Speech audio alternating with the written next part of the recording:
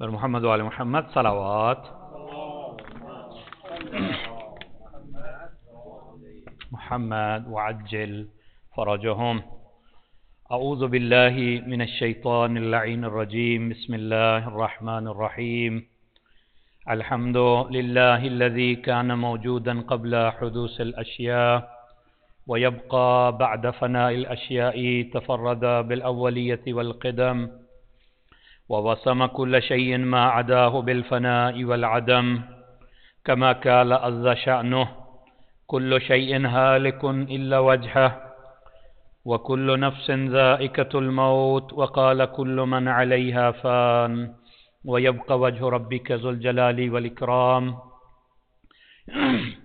سبحان من لا يخفى عليه اختلاف النيات ولا يعذب عنه, المع... عنه معاصي العباد في الخلوات. سبحان الله الذي منه خلقة العباد وإليه المعاد. فمن يعمل مثقال ذرة خيرا يراه ومن يعمل مثقال ذرة شرا يراه نشهد أن لا إله إلا هو الملك الذي لا ينازع في ملكه ولا يذاد في حكمه. يعذب من يشاء بما يشاء كيف يشاء ويرحم من يشاء بما يشاء كيف يشاء. تعذيبه المسيئين عدل وعفوه تفضل. ونشهد أن محمدا سيد المرسلين وخير المبشرين والمنذرين. صلى الله عليه وآله. الحداة المهديين. من ركب سفينتهم نجا واحتدى. ومن تخلف عنها ضل فغرك وحوى. أوصيكم عباد الله بالاعتسام بالتقوى. فإنه حبل متين وأروة وسقى وبمبادرتكم الموت قبل حلوله وإعداد العمل الصالح قبل نزوله فإنه وارد واقع نازل وإن تفروا منه أو كنتم في بروج مشيدة الله الله عباد الله فإن كل حي في الدنيا إلى فناء وكل مدة فيها إلى انتحاء فوا عجبا كيف هذه الغفلة وإنما نحن كركب وقوف من أبناء السبيل فيضرب عليهم تبل الرحيل فيرتحلون عما قليل وأصفا إلى متى تلقى الرقدة؟ ونحن في دار بالبلاء محفوفة وبالغدر معروفة لا يدوم أحوالها ولا تسلم نضالها العيش فيها مضموم والأمان فيها معدوم. كيف لا تأتبرون وإخوانكم؟ قد سلقوا في بطون البرزخ سبيلا وفقدت أجسادهم وأميت أخبارهم عمدا طويلا جيران لا يتناسون أحباء لا يتزاورون. وغربتا من بيت وحدتنا ومنزل وحشتنا ومحت حفرتنا ومفرد غربتنا. ومصيبتا ما أسرع الطلب وأبعد السفر وأقل الضاد ونفصا إذا أسلمنا الأحباء إلى الملائكة الغلاظ الشداد وحزناه إذا انقطع ذكرنا عن خواتر الأحباء والأقرباء وأكلت الديدان محاسننا وتصرمت الأعضاء فليبخ الباكون قبل أن لا ينفع البكاء وليستغفرن عن الخطيئات التي تهول بين الأمهات والآباء. إن أحسن الحديث وأبلغ الموعظة كتاب الله. وقد قال في كتابه بسم الله الرحمن الرحيم. قد أفلح المؤمنون. صلوات. صل على محمد وعلى محمد وعجل خلا کے عالم کا شکر کہ اس نے ہمیں ایک مرتبہ پھر ایک جمعہ نصیب فرمایا۔ جمعہ مبارک افضل ترین دن ہے، ہفتے کے دنوں کے اندر۔ یہ روز روز امام زمانہ ہے۔ اس خطبے کے توسل سے اپنے نفس کو اور آپ کو تقوی الہی کی دعوت دیتا ہوں۔ بہترین زاد راہ آخرت میں جو ہمیں کام آ سکتا ہے وہ تقوی الہی ہے۔ اس دنیا میں بھی متقی کامیاب ہے، آخرت بھی متقی کی ہے۔ سورہ مومنون کے متعلق میں نے وعدہ کیا تھا پچھلے جمعے میں کہ پہلی دس آیات جو سورہ مومنون کی ہیں، اس کی شرح اور تفسیر عرض کروں گا۔ قرآن نے مومن کسے کہا ہے؟ ایک ہے اسلام، ایک ہے ایمان، ایک ہے مسلمان، ایک ہے مؤمن کلمہ شہادتین پڑھنے والے کو مسلمان کہتے ہیں۔ جو بھی اقرار کرتا ہے اس بات کا اشہد اللہ الہ الا وحدہ لا شریک و اشہد ان محمدن عبدہ و تو اس کی عزت، جان، مال، حرام ہے اور وہ یعنی دوسرے مسلمان پر واجب ہے کہ اس کی تعظیم کرے، وہ مسلمان ہے۔ یعنی نظریات اسلام کو اگر وہ مانتا ہے، اقرار کر رہا ہے اللہ کو مانتا ہے، نبی کو مانتا ہے، ضروریات دین کو مانتا ہے، تو وہ مسلمان ہے۔ مومن اس سے اگلا درجہ ہے دل سے اقرار کرے۔ فقط زبان سے اقرار نہ ہو، دل سے اقرار کرے۔ ایمان رکھتا ہو اپنے عقیدے کے اوپر اور ایمان بل ولایت بھی رکھتا ہو۔ یہ عام تعریف ہے مؤمن کی۔ مگر قرآن مجید نے تھوڑی سی ڈیٹیل بتائی ہے۔ کہ وہ جو صاحبان ایمان ہوتے ہیں، ان کے سائن کیا ہیں؟ ان کی نشانیاں کیا ہیں؟ اور میں نے پچھلے بھی جمعے عرض کیا تھا، نبی اکرم نے فرمایا، سورہ مؤمنون مؤمنون کی جو ہر جمعے تلاوت کرتا ہے، اس کی عاقبت بالخیر ہوتی ہے، اس کا انجام بالخیر ہوتا ہے، یہ گارنٹی دی ہے نبی نے، سورہ مؤمنون کی جو تلاوت کرے۔ اور دوسری روایت نبی اکرم فرماتے ہیں کہ اس سورہ مؤمنون کی پہلی دس آیات میں سات سائن ہیں مؤمنین کے۔ اگر کوئی یہ سات آیتیں اپنا لے، اب پڑھے نہیں، بلکہ یہ اپنے کردار میں ڈھال لے یہ سات نشانیاں، میں نبی اس کی جنتی ہونے کی ضمانت دیتا ہوں۔ تو کتنی اہم یہ آیات ہیں کہ اگر یہ ہم سات کام کر لیں تو نبی اکرم جنت کی ضمانت دے رہے ہیں۔ آئیے قرآن مجید کی سورہ مؤمنون۔ ابتدا کیا ہو رہی ہے؟ قد افلح المؤمنون۔ قد جب ماضی کے ساتھ آتا ہے تو اس کا مطلب ہے بغیر ڈاؤٹ کے، بے شک، تحقیق۔ یعنی یہ بات جو اس کے بعد آ رہی ہے، وہ ہنڈریڈ پرسینٹ ٹھیک بات ہے۔ اس میں کوئی غلطی کی گنجائش نہیں ہے۔ افلاح کا مطلب کیا یہ فلاح سے ہے۔ ہمارے ہاں بھی یوز ہوتا ہے یہ لفظ فلاح۔ فلاح بمانا کامیابی۔ کامیاب، انگلش میں میرے خیال میں سکسیسفل کامیاب انسان، فلاح، یہ لفظ ہے کامیابی کا، اور ہر آدمی کو پسند ہے کہ وہ کامیاب ہو۔ اس کے مقابلے میں ناکام ہونا انسان خسران میں جانا۔ اور کامیاب ہونا یہ ہر انسان کو پسند ہے۔ اللہ کہہ رہا ہے، کون تم میں سے کامیاب ہے؟ المؤمنون۔ شک والی کوئی بات نہیں ہے۔ افلح المؤمنون قد افلح المؤمنون تحقیق مؤمن کامیاب ہی کامیاب ہے۔ قرآن اس کی گارنٹی دے رہا ہے۔ اگر کوئی صحیح صاحب ایمان بن گیا ہے، وہ ناکام نہیں ہو سکتا۔ آئیے قرآن مجید سے پوچھتے ہیں۔ کسی اور گروہ کے متعلق بھی یہ لفظ استعمال کیا ہے؟ قرآن نے اسی لفظ کو استعمال کیا ہے۔ یہ جو فلاح کا لفظ ہے افلاح کا لفظ ہے۔ کبھی کہا مفلحون اولائکا هم المفلحون۔ تحقیق یہ وہ لوگ ہیں جو کامیاب ہیں۔ جیسا کہ سورہ بقرہ کی ابتدائی آیت میں نے پڑھی تھی لاسٹ خطبے کے اندر۔ کبھی کہا، لعلکم تفلحون۔ لعلکم تفلحون، شاید کامیاب ہو جائے۔ وہاں گارنٹی نہیں دی ہے، شاید کامیاب ہو جائے۔ اور یہ لفظ بھی قرآن مجید نے غالباً گیارہ مرتبہ استعمال کیا ہے۔ لعلکم تفلحون۔ وَعْبُدُوا رَبَّكُمْ وَفْعَلُوا الْخَيْرَ لَعَلَّكُمْ تُفْلِحُونَ۔ اور بھی مختلف مقامات پہ یہ لفظ استعمال ہوا ہے۔ وہاں پہ بھی علماء نے کہا کہ اگر وہ جو کام ہے اس سے پہلے اللہ نے ذکر کیے ہیں، اگر وہ کرتا رہے دائمی طور پہ تو کامیابی کی ضمانت ہے۔ اس لیے اللہ نے یقینی بات نہیں کی، لعلکم تفلحون کا لفظ استعمال کیا ہے۔ لیکن آپ واپس پلٹتے ہیں، قد افلاح کی طرف۔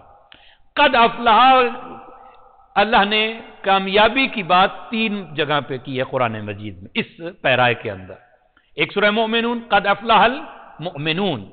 سورہ وشمس کے اندر اللہ نے فرمایا، قد افلاح من زکاہا اور سورہ اعلی میں ارشاد فرمایا، قد افلاح من تزکا۔ تو یہ یقینی جو کامیابی ہے، یہ تین مرتبہ اللہ نے قرآن مجید نے فرمایا، مؤمن کامیاب ہے، قد افلاح من زکاہا وہ کامیاب ہے جس نے اپنے اندر کو پاک بنا لیا، جس نے اپنے نفس کو پاک بنا لیا۔ اور اسی طرح سورہ عالم میں بھی قد افلح من تزکا، جس نے اپنے آپ کو پاک بنا لیا، وہ کامیاب ہے۔ تو گارنٹی کامیابی جو اللہ دے رہا ہے، ان تین گروہوں کو دے رہا ہے۔ جو اپنے اندر کو پاک بنا لے، جو مؤمن ہے، وہ کامیاب ہے۔ بار الہ یہ بتا کہ ان مؤمنین کی نشانیاں کیا ہیں۔ ایک ہے ہم ایک دوسرے کو مؤمن کہیں۔ اس میں بہت ساری اور آیتیں ہیں جو میں چھوڑ رہا ہوں ورنہ تفصیل میں جا سکتا ہوں۔ مثلا سورہ حج کی آیت ہے وَعْبُدُوا رَبَّكُمْ، اپنے رب کی عبادت کرو۔ وَفْعَلُوا الْخَيْرِ، اور ایک دوسروں کے ساتھ نیکی کرو۔ لَعَلَّكُمْ تُفْلِحُونَ، شاید تم کامیاب ہو جاؤ۔ وَاتَّقُوا اللَّهِ، تقوی اختیار کرو۔ بارے کیوں متقی بنے؟ لَعَلَّكُمْ تُفْلِحُونَ، شاید تم کامیاب ہو جاؤ۔ اور سورہ آراف میں فرمایا، فمن سقلت موازینہ قیامت کے دن جس کا نام اعمال بھاری ہوگا فاولئکہم المفلحون۔ کامیاب وہی ہوگا جس کا نام اعمال بھاری ہے۔ اور پھر فرمایا سورہ مجادلہ کے اندر، الا حزب اللہ هم المفلحون۔ اللہ کی پارٹی بن جاؤ۔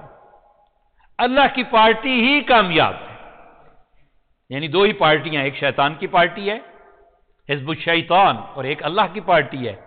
حزب اللہ یعنی کوئی چوائس نہیں ہے کوئی تھرڈ آپشن نہیں ہمارے پاس دس جسٹ ٹو آپشن یا تو آپ اللہ کی پارٹی میں ہو اگر آپ اللہ کی پارٹی میں ہو تو اس کا مطلب ہے شیطان کی پارٹی میں نہیں ہو اور اگر آپ اللہ کی پارٹی میں نہیں ہو تو اس کا مطلب ہے شیطان کی پارٹی میں اور کامیاب کون سی پارٹی ہے حزب اللہ ہم المفلحون پھر فرمایا سورہ انفال کے اندر وزقر اللہ کثیرا اللہ کا ذکر بہت زیادہ کیا کرو کیوں کریں اللہ کا ذکر باری لا؟ لعلکم تفلحون۔ شاید کامیاب ہو جاؤ۔ توبو اللہ جمیعا۔ اللہ کے ہاں تائب ہو جاؤ۔ سب کے سب تائب ہو جاؤ۔ ایوہ المؤمنون۔ اے صاحبان ایمان، توبہ اختیار کرو۔ بار الہ کیوں توبہ کریں؟ لعلکم تفلحون۔ شاید یہ اللہ کامیابی کے رستے دکھا رہا ہے۔ اللہ کا پارٹی میں، اللہ کی پارٹی میں آ جانا کامیابی ہے، اللہ کا ذکر کرنا کامیابی ہے، عبادت کرنا کامیابی ہے، لوگوں کے ساتھ نیکی کرنا کامیابی ہے، توبہ کرنا کامیابی ہے، متقی بن جانا کامیابی ہے۔ یہ سارے اللہ کامیابی کے رستے دکھلا رہا ہے۔ اور یہاں سورہ مؤمنون میں کہا کہ مؤمن کامیاب ہے۔ کون مومن؟ اللہ زینا یہ اللہ زی جب آتا ہے، یہ اللہ زینا اگر سنگولر ہو تو اللہ زی آتا ہے، اور اگر جمع ہو تو اللہ آتا ہے۔ یعنی جو پہلے کوئی ہے اسی کی بات کی جا رہی ہے۔ وہ لوگ الزین ہم فی صلاتہم خاشعون، جن کی نمازوں میں خشیہ ہوتا ہے۔ باری لا یہ خشیہ کیا ہے نماز کے اندر؟ ایک اس کا ترجمہ آجزی بھی کیا جاتا ہے۔ نہیں۔ جن کی نماز میں توجہ بر خدا ہوتی ہے، خدا کی طرف وہ متوجہ ہوتے ہیں کہ وہ کیا کر رہے ہیں۔ مؤمن کی نماز اچھا یہ بھی عرض کر دوں، ایک ہے نماز کی باڈی، شکل و صورت نماز ہے، جسم نماز ہے، اس کی بھی شرائط ہے وضو ہونا چاہیے، لباس پاک ہونا چاہیے، مقام پاس پاک ہونا چاہیے، جہاں پہ آپ پڑھ رہے ہیں، مباح ہونا چاہیے، کسی غصبی مکان نہیں ہونا چاہیے، سجدے گاہ ہونا چاہیے، جس پہ آپ یعنی کوئی چیز ایسی ہو جس پہ سجدہ کیا جا سکتا، اس پہ آپ سجدہ کر سکتے ہیں۔ یہ جسم کی شرائط ہے نماز کی ایک شکل و صورت ہے۔ اگر یہ ہوگی تو نماز کی شکل و صورت قائم ہوگی۔ تکبیرت الحرام کہی جائے۔ ایک رکو ایک رکعت میں دو رکو نہ ہو جائیں۔ دو سجدے ہوں ایک رکعت میں، چار سجدے نہ ہو جائیں۔ تشاہد پڑھا جائے، سلام، ترتیب و نماز کی۔ یہ کیا ہے؟ شکل نماز ہے۔ اور ایک روح نماز ہے۔ ایک ہے شکل نماز جو ہم پڑھتے ہیں۔ اس کی بھی شرائط میں نے عرض کر دی، مگر روح نماز خشیہ ہے۔ توجہ خدا کی طرف ہونا۔ مومنین فقط شکل نماز برپا نہیں کرتے، ان کی نمازوں کے اندر روح نماز بھی ہوتی ہے۔ یہ متوجہ کرنا چاہتا تھا۔ مردے اور زندے میں فرق روح کا ہوتا ہے۔ اس کا مطلب ہے کہ زندہ نماز وہ ہے جس کے اندر خشیہ خدا ہے، خوف خدا ہے۔ اب یہ کیسے پیدا کیا جائے؟ خوف خدا نماز کے اندر۔ اس کے علماء اور احادیث نے کہا، جب آپ نماز پڑھنے کے لیے کھڑے ہوں تو آپ متوجہ ہوں کہ آپ کیا کر رہے ہیں۔ آپ کو پتہ تو ہو کہ آپ کیا کر رہے ہیں۔ اسی لیے جب معصومین کی نمازوں کے بارے میں ہم پڑھتے ہیں کہ وہ کیسے نماز پڑھتے تھے، وضو کرتے ہوئے کانپ رہے ہیں امام۔ چہرہ زرد ہو رہا ہے، نماز کے لیے کھڑے ہو رہے ہیں۔ صحابی نے کہا، یا رسول اللہ، آپ کی یہ حالت کیسے؟ کہا کہ امانت الہی کا وقت آ گیا ہے۔ تمہیں نہیں پتا کہ کس کے حضور میں جا کے بات کر رہا ہوں؟ کس سے میں جا کے نماز گویا اللہ سے باتیں کرنا ہے؟ اگر آپ کسی عام انسان سے بات کریں، اور انداز ہوتا ہے۔ اور اگر یہاں کے میر صاحب آ جائیں، آپ کا توجہ کیسے ہوگی اس کی طرف؟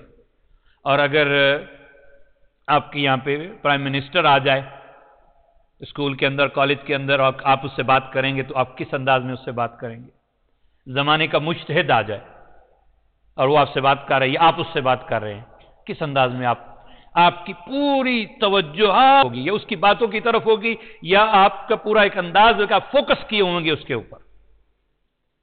نماز گویا رب سے بات کرنا ہے۔ تو نماز سے پہلے علماء نے بتایا کہ آپ کو اس کے لیے تیار ہونا چاہیے نماز کے لیے۔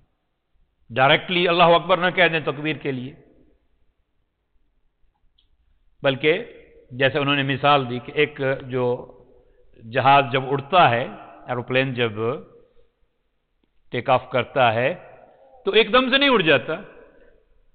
گاڑی بھی آپ صبح اسٹارٹ کرتے ہیں تو پہلے تھوڑی سی اس کو اسٹارٹ کر دیتے کہ انجن گرم ہو جائے۔ اچھی مثال دی ہے۔ اسی طرح نماز کے لیے بھی اپنے آپ کو پرپیئر کریں پہلے۔ اذان و اقامت اسی کا حصہ ہے۔ اور اس کے بعد آپ کھڑے ہوئے مسلح پہ استغفار کریں۔ استغفر اللہ ربی واتوب الیہ۔ لا حول ولا قوت الا باللہ العظیم۔ اور پھر بلکہ بعض علماء نے اور بھی بہت ساری قرآن آیات بتائی ہیں کہ وہ آیات پڑھی جائیں اس سے پہلے۔ جب آپ اپنے آپ کو آمادہ پائیں، تھوڑا سا متوجہ ہو گئے ہیں خدا کی طرف اپنے روح کے اندر، اب کہیں اللہ اکبر۔ ایک یہ صورت۔ دوسرا علماء نے بتایا کہ جس کوشچن کیا گیا کہ ہم نماز پڑھتے ہیں، کیسے پتہ ہو کہ ہماری توجہ خدا کی طرف ہو جائے، خشیہ پیدا ہو جائے؟ کہا کہ آپ جو پڑھ رہے ہیں، اس کی میننگ کی طرف بھی غور کریں۔ اگر اس انداز میں آپ نے شروع کر دیا، آج سے شروع کر دیں۔ مثلا آپ نے کہا اللہ اکبر۔ بڑائی اس کے ذات کی ہے، وہی سب سے بڑا۔ ہے اس کی میننگ میں اگر آپ غور کریں، نہ میں بڑا ہوں، نہ میرا مال بڑا ہے، نہ میرا خاندان بڑا ہے، کچھ بھی بڑا نہیں ہے۔ بڑائی خدا کی ذات کی۔ اللہ اکبر۔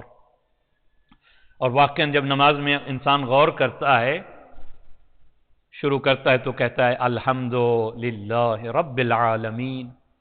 اصل میں حقیقی تعریف تو ہے ہی اللہ کی۔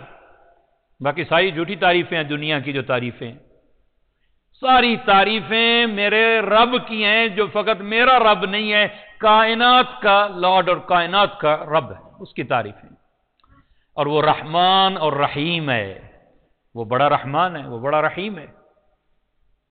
اور اس کے بعد مطلب کی بات کرتا ہے، اس کی تعریف سے، ساری اس کی تعریف ہے، مالک یوم الدین، قیامت کا اختیار اس کے ہاتھ میں۔ اور پھر اپنی بندگی کا اظہار کرتا ہے ایا کا نعبدو و ایا کا نستعین۔ بار الہت تیری ہی عبادت کرتے، کوئی اور ہے ہی نہیں عبادت کے لائق۔ اور تجھ سے ہی مدد کر طلبگار ہیں۔ اور پھر اپنی یہ پوری سورہ الحمد کی جان ہے، یہ آیت۔ اہد نصراط المستقیم بار الہ سرات مستقیم پہ مجھے قائم رکھ۔ میں آ گیا ہوں سرات مستقیم پہ۔ اس سرات مستقیم پہ مجھے قائم و دائم رکھ۔ اور یہ ان لوگوں کا راستہ ہے کہ جن پہ تو نے اپنی نعمتیں نازل کی۔ آل محمد کا یہ راستہ ہے سرات مستقیم۔ نہ کہ ان لوگوں کا جو والین ہے جو گمراہ ہیں مجھے تیرے نعمت والے لوگوں کے رستے پہ اب قائم رکھ، نہ کہ گمراہ لوگوں کے رستے پہ قائم رکھ۔ اگر میننگ کے اوپر غور کرے گا۔ اب یہ کہ نماز میں بھی اسٹیجز ہیں۔ یہ پہلا اسٹیج ہے۔ آپ بات کر رہے ہیں اپنے رب سے۔ سورہ الحمد پڑھی، دوسری صورت پڑھی۔ اس کے بعد اب آپ کو اللہ نے اور قریب بلا لیا۔ اب آپ نے کہا، اللہ اکبر۔ اب رکو میں آپ چلے گئے۔ رکو میں کیا کہا؟ سبحان اللہ سبحان اللہ سبحان اللہ تو اس سے بھی بڑی تیری مقدس ذات ہے جو میں نے حمد کی تو اس سے بڑھ کے ہے۔ سبحان ربی العظیمی و بحمد اور پھر اس کے بعد کہا کہ جو میں کچھ کہہ رہا ہوں سمع اللہ بولے من حمیدہ۔ میں نے جو جو حمد کی ہے اللہ سن رہا ہے۔ اچھا واقعا کبھی اس بات پہ بھی یہ مراقبہ ہے۔ آپ غور کریں، ہم جو نماز پڑھتے ہیں، اس کی ایک ویڈیو بنائی جائے۔ بعد میں ہم ہی لوگوں کے پچاس ہزار آدمیوں میں ویڈیو لگا دی جائے، یہ میری نماز ہے۔ مراقبہ۔ میری نماز کو اللہ دیکھ رہا ہے، اللہ سن رہا ہے میری بات کو۔ سمی اللہ اللہ نے سنا ہے جو میں نے کہا ہے۔ جو میں نے حمد کی ہے، وہ اللہ سن رہا ہے۔ اس کا مطلب جب رکوع مکمل ہو گیا تو اب اللہ اور قریب بلا لیتا ہے۔ سب سے زیادہ قریب انسان اللہ کے حضور سجدے کی حالت میں ہوتا ہے۔ اس کا کرم کہ اس نے سجدے میں بلا لیا۔ سبحان ربی و بحمدہ۔ اور دو سجدے کے بعد بیچ میں پھر استغفار۔ اگر میننگز کے اندر انسان غور کرے تو توجہات پیدا ہو جاتی ہیں نماز کے اندر۔ پہلی نشانی مومن وہ ہوتا ہے، مومن کامیاب ہے اور مومن وہ ہوتا ہے کہ جس کی نماز میں خشیہ ہوتا ہے۔ امام صادق علیہ السلام فرماتے ہیں صلی علی محمد وعلی محمد.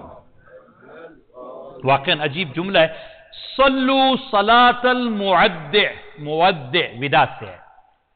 ایسی نماز پڑھو جیسے زندگی کی آخری نماز ہے۔ واقع انسان کو اگر علم ہو جائے کہ میری زندگی کی آخری نماز ہے، وہ کیسی نماز پڑھے گا؟ اس کا ہر ہر رکن بہترین ہوگا۔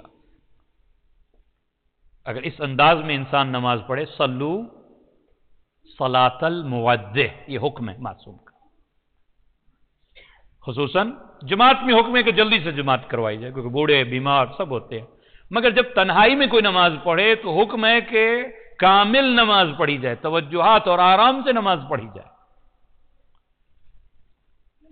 بعض دفعہ اطمینان کی حالت میں پڑھنا، سکون کی حالت میں نماز پڑھنا، یہ تو واجب ہے، شرط ہے اس کی۔ کہ جو بھی آپ ذکر کریں گے کرت کریں گے، آپ کا بدن جو ہے وہ ساکن ہونا چاہیے۔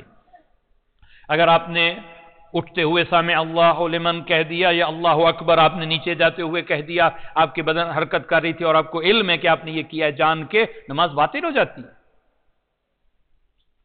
نماز آرام سے، سکون سے۔ کون پڑھتا ہے؟ مومن مومن کی نماز میں خشیہ ہوتا ہے۔ یہ پہلی سائن، پہلا نشانی مومنین کا۔ بعض دفعہ لوگوں کے ذہن میں آتا ہے جلدی جلدی نماز کا وقت ہو گیا، پڑھ لیں جی سکون آ جائے گا، اطمینان۔ یعنی جو پنجابی جی کہتے ہیں جی مگر اللہ ہو جی جلدی جلدی کرو جی نماز کا ٹائم ہو گیا۔ نہیں۔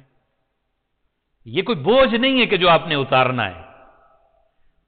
یعنی ہمیں نماز ختم کر کے سکون ملتا ہے، معصومین کو نماز میں سکون ملتا ہے۔ مومن کو نماز میں سکون ملتا ہے کہ اتنے جلدی ختم نہ ہو جائے، اس لیے سکون مل رہا ہے نماز کے اندر۔ جلدی انسان وہ کام کرتا ہے جس میں مطمئن نہیں ہے، اس کو سکون نہیں ہے اس کے اندر۔ کہ جلدی جلدی گزر جاؤ یہاں سے، فرض کرو۔ جلدی اسی کام میں کی جاتی ہے نا۔ عادتن نماز نہیں پڑھائی جا رہی، یہ عبادتن نماز، یہ عبادت ہے، یاد رکھیے گا۔ ایک ہے ہم عادتن کام کر رہے ہیں، اٹھے ہیں، ہمیں پتہ بھی نہیں رکو کیسے ہو رہا ہے، سجدہ کیسے ہو رہا ہے۔ نہیں۔ عبادت نہیں اسے کہا جا سکتا۔ عبادت وہ ہے کہ جہاں فقط سر نہیں جھکتا، دل جھکتا ہے۔ سلوات پڑی گا۔ محمد وال محمد محمد۔ قد افلح المؤمنون الذين هم في صلاتهم خاشعون۔ ہماری نماز میں خشیہ ہوگا تو ہم مؤمن کہلائیں گے۔ اور مومن ہیں تو پھر کامیاب ہیں۔ یہ پہلا سائن ہے، نماز۔ یعنی جس کا نماز سے تعلق نہیں ہے، اس کا گویا ایمان سے کوئی تعلق ہی نہیں ہے۔ پہلی چیز جس کا سائن بتایا، وہ نماز ہے۔ اور نماز کے فوراً بعد زکوٰۃ کی بات کی گئی ہے۔ سوری ولدین معرضون، جو لغو سے اعراض کرتے ہیں، لغویات سے پرہیز کرتے ہیں۔ یہاں عجیب ہے، علماء نے کہا کہ زکوٰۃ اور نماز کے ساتھ رکھا جا رہا ہے لغویات سے پرہیز کرنا۔ کتنی اہم بات ہے۔ جہاں نماز کی اہمیت، جہاں زکوٰۃ کی اہمیت، وہاں لغویات سے، بےحودہ باتوں سے انسان منہ موڑ لے۔ یہ مومن کی علامت ہے۔ بےحدہ یہاں لغو سے کی تعریف جو کی گئی ہے، اس کا کوئی مقصد ہی نہیں ہوتا۔ بغیر مقصد جو کام کیے جاتے ہیں، وہ لغویات کہلاتی ہے۔ انسان کا جو وقت ہے، یہ قیمتی ہے۔ مومن لغویات، لغو گفتگو میں، لغو کاموں میں اپنے آپ کو بیزی اور مشغول نہیں کرتا۔ بلکہ اس کے مقابلے میں قرآن نے کیا کہا؟ اذا مرو باللغوی مرو کراما وہ اگر کسی ایسی جگہ سے گزرتے ہیں جہاں لغویات ہو رہی ہوتی ہیں، تو بڑے عزت و احترام سے گزر جاتے ہیں۔ لڑائی جھگڑا نہیں کہا گیا کہ برا بھلا کہہ دو، یہ کیا ہو رہا ہے، لڑائی جھگڑا کر لو۔ نہیں، بلکہ اپنا دامن ان لغویات سے بچا لو۔ اگر ان کو بھی روک سکتے ہو عمر بالمعروف، اچھی بات ہے، لیکن اگر شرائط نہیں پائی جاتی تو کم از کم اپنا دامن تو بچا لو۔ والذین عن اللغو معرضون۔ والذین هم للزکات فاعلون۔ اور مومن وہ ہوتا ہے اللہ کی نگاہ میں جو زکوٰۃ کا ادا کرنے والا ہے۔ عجیب ہے، قرآن مجید میں تھرٹی ٹو ٹائم زکوٰۃ کا لفظ استعمال اللہ نے کیا ہے۔ بتیس مرتبہ لفظ زکوٰۃ آیا ہے۔ اور بتیس مرتبہ لفظ بارکا یعنی برکت آیا ہے۔ علماء نے یہاں بھی بعض آداد کے ذریعے سے بھی قرآن کا اعجاز نکالا ہے۔ جہاں زکوٰۃ جتنی مرتبہ ہے، اتنی مرتبہ اللہ نے برکت کا لفظ استعمال کیا خود زکات دینا، اللہ کے رستے میں انفاق کرنا مال کو کم نہیں کرتا، یہ بیان کرنا چاہتا ہے۔ بلکہ مال میں اضافہ ہو جاتا ہے۔ جو خمس دیتے ہیں، جو زکات دیتے ہیں، جو صدقات و خیرات دیتے رہتے ہیں ان کے مال میں اللہ اضافہ کرتا ہے۔ زکات کا لفظی معنی بھی بڑھنا ہے، نمو ہے۔ زکا کا معنی بڑھنا، کم ہونا نہیں ہے۔ ایک زکات کا معنی اگر اس کے اوپر شد آ جائے زکا کا معنی کیا ہے؟ تزکیہ کا معنی پاک ہونا۔ اور زکا کا معنی ہے بڑھنا، نمو۔ والذین لزکاتی فاعلون۔ اور آسان ہے۔ زکات تو ہم پہ واجب ہی نہیں ہے، کیونکہ جو شہروں میں رہتے ہیں، کھیتی باڑی ہے نہیں ہے، جانور ہمارے پاس نہیں ہے۔ زکات اجناس پہ ہوتی ہے، جنس پہ یا جانور پہ ہے۔ یا سونا چاندی اگر سکوں میں ہوں اور وہ سکے استعمال ہوتے ہوں۔ اس کے علاوہ زکوٰۃ واجب نہیں ہے۔ اگر کوئی کھیتی باڑی کرتا ہے، گندم ہے، کسی کے یہاں چاول ہے، کھجور ہے، منقع ہے، تو اس کی شرائط کے مطابق اس پہ ڈھائی پرسینٹ وہ جو زکوٰۃ ہوگی۔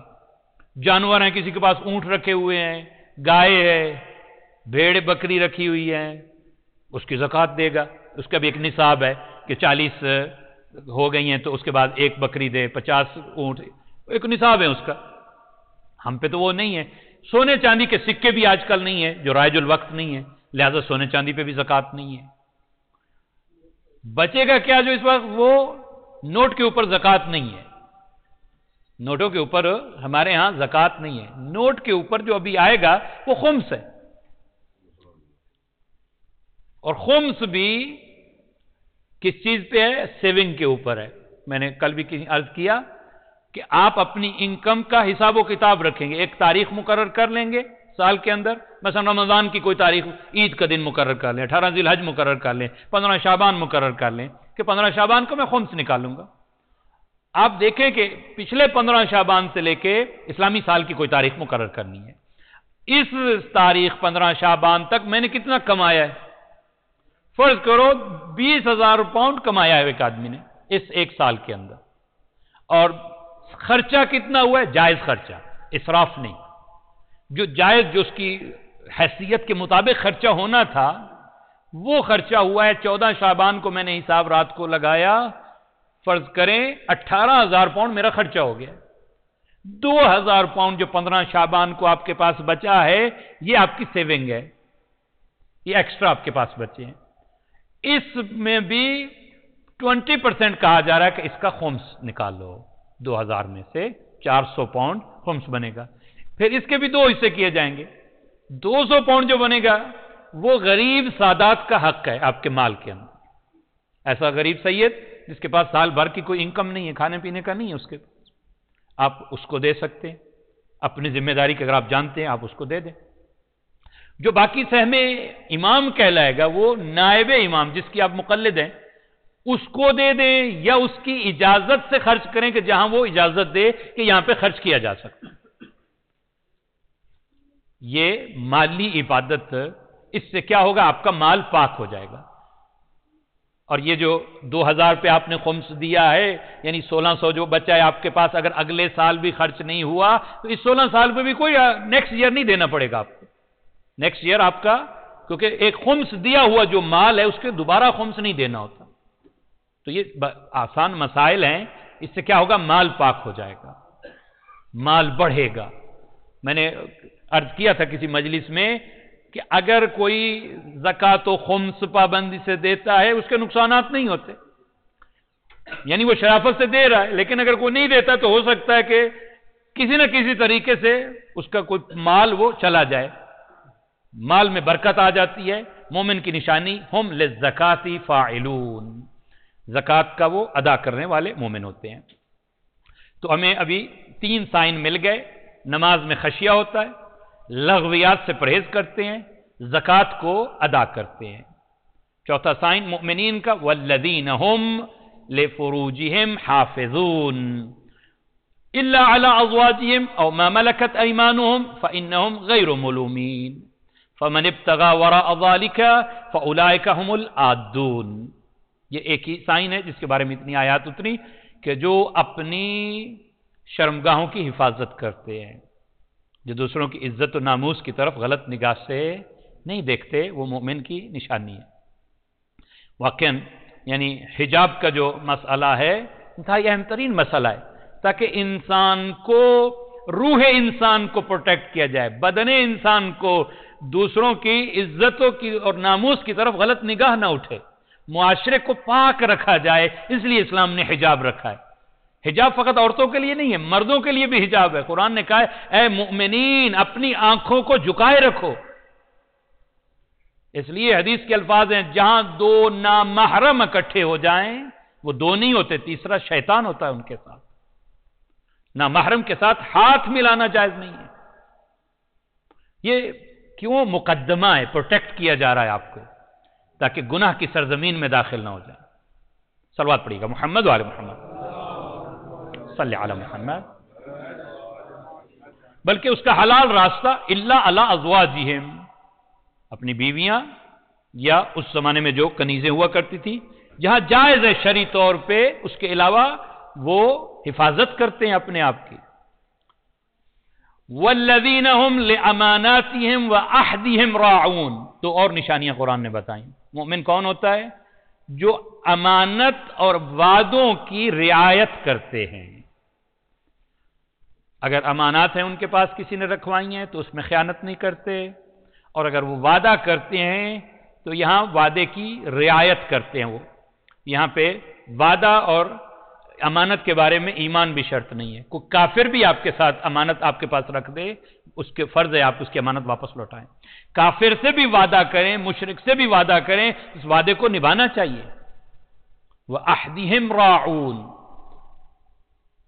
والذین هم علی صلاتهم یحافظون آخری نشانی، قرآن مجید نے کیا بتائی مؤمنین کی؟ عجیب ہے، یہاں پہ قرآن کے ایک ایک لفظ میں اعجاز ہے۔ شروع بھی نماز سے کیا ہے، اینڈ بھی نماز پہ پھر قرآن کر رہا ہے اس سورہ مؤمنون کے اندر۔ مومن کی پہلی نشانی کیا ہے کہ وہ نماز میں خشیہ ہوتا ہے، خوف خدا ہوتا ہے نماز کے اندر، توجہ بخدا ہوتی ہے۔ اور پھر وہ اپنے نماز کی حفاظت کرتے ہیں۔ کہ نماز کی حفاظت کیا ہے؟ برائیوں سے بچنا نماز کی حفاظت ہے۔ گناہوں سے بچنا نماز کی حفاظت ہے۔ نبی نے فرمایا، جو بھی اللہ کی حمد کرتا ہے سبحان اللہ والحمد للہ کہتا ہے، تو اللہ اس کے بدلے میں، ایک ذکر کے بدلے میں کئی درخت لگا دیتا ہے جنت کے اندر۔ صحابی نے کہا، یا رسول اللہ، پھر تو ہمارے کئی باغات ہوں گے۔ اس لیے کہ ہم نے تو کئی تسبیحہ پڑھی اللہ کی۔ نبی نے فرمایا، شرط یہ ہے کہ تم نے ان کو گناہوں کے ذریعے سے جلا نہ دیا ہو۔ اسی طرح نماز پڑھنا ایک ہے ایک ہے اس نماز کی حفاظت کرنا۔ مومن وہ ہوتا ہے قرآن کی نگاہ سے والذین هم علی صلواتهم اب اللہ انعام دے رہا ہے۔ اولئک هم الوارثون۔ الذین یرثون الفردوس هم فیها خالدون۔ یہ جنت الفردوس کے وارث ہوں گے۔ اور یہ اس میں ہمیشہ ہمیشہ رہیں گے۔ آئیے دعا کرتے ہیں، بار الہ، ہم سب کا شمار قرآنی مؤمنین میں فرما۔ بار الہ، ہم سب کو اپنی نمازوں میں خوشو و خضو پیدا کرنے کی توفیق عطا فرما۔ بار الہ میں زکوٰۃ ادا کرنے کی توفیق عطا فرما۔ اپنے رستے میں انفاق کی توفیق عطا فرما۔ لغویات سے بچنے کی توفیق عطا فرما۔ بار الہ، ہمیں اپنی نمازوں کی حفاظت کرنے کی توفیق عطا فرما۔